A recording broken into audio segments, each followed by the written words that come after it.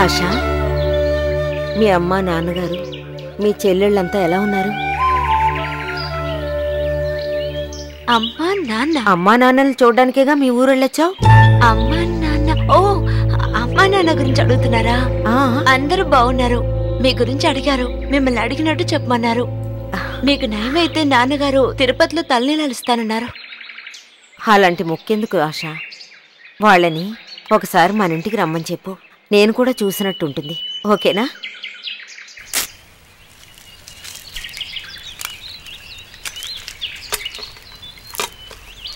BP normal గానే ఉంది.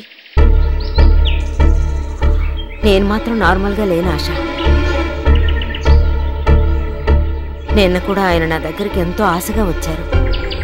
కానీ నేను ఆయన్ని సంతోష పెట్టలేకపోయాను ఆయన చాలా బాధతో నిరాశతో వెళ్ళిపోయారు. మీరేం దిగులు పడకండి. ఇంకొన్ని రోజుల్లో మీరు మామూలు మనిషి అయిపోతారు. అప్పుడు చూడండి మీరు అనుకున్నవన్నీ జరుగుతాయి. ఎప్పుడు నా ఆరోగ్యం బాగుపడి నువ్వు చెప్పినట్టు జరుగుతుంది. అంతా నా తలరాత. ఖచ్చితంగా నేను అన్నట్టు జరుగుతుందో లేదో చూడండి. సరేగా మీరు రూమ్కి వెళ్ళండి. ఇది పెట్టేసి నేను వస్తాను.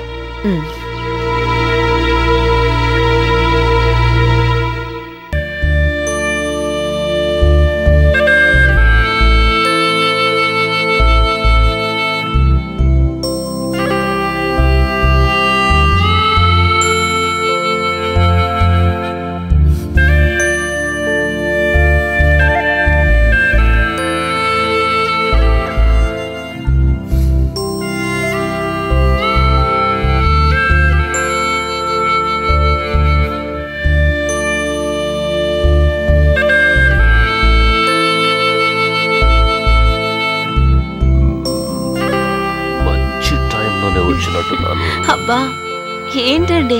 ఇప్పుడేనా? ఊరుకుంటారా? నాకు అదోలా ఉంది. అయ్యో చెప్తే వినరా? ఏమండి? చెప్తున్నానా?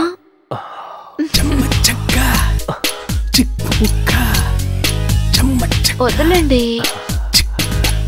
అయ్యో నా మాట వింటారా? అయ్యో.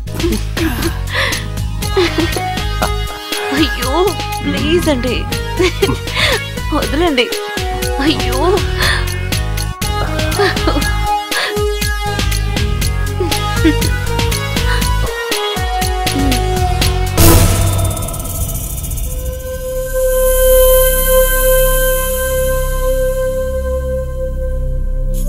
రాజని రా.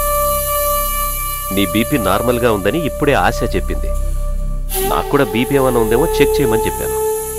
హ, వయసు అయిపోయింది కదా. మీకా వయసు అయింది సర్లేండి ఆశ ఆయనకి బీపీ చెకప్ చేసి నాకు జ్యూస్ చేసి తీసుకురా. అలాగే అక్క.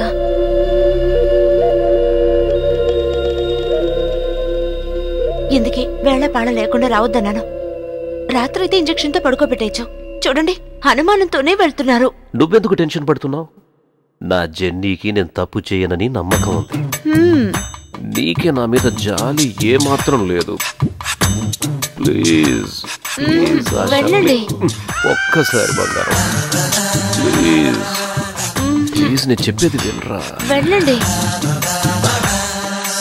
Please Asha please. వెళ్ళండి. మమ్. వెళ్ళండి ప్లీజ్. వెళ్ళండి. ఒక్కసారి బంగారం.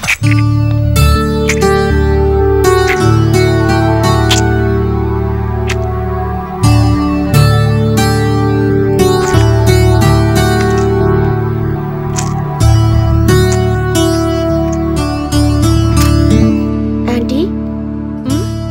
ఏం చేస్తున్నారు? అమ్మ జ్యూస్ అడిగారు. ఏంటి ఆకలేస్తోందా? లేదంటే కిచెన్ పక్కకే రావు కదా. ఆంటీ ఈరోజు టిఫిన్ ఏంటి? ఏదో అడగాలని వచ్చావు. డైరెక్ట్గా అడగడం మానేసి ఏం టిఫిన్? ఏం చూసాను అడుగుతున్నావు? చల్లకొచ్చి మొంతు దాయకు. ఈ రోజు బాలాజీ బర్త్డే. లంచ్కి రమ్మని పిలవనా? లంచ్కా? ఆహా లంచ్ కొద్దు రాత్రికి రమ్మని ఏకంగా విందే ఇచ్చేయి విందా?